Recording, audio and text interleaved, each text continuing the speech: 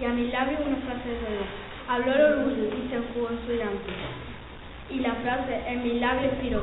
Yo voy por un camino, ella va por otro. Pero al pensar en nuestro mutuo amor, yo digo, ¿por qué calla querido? Ella dirá, ¿por qué no lloré yo?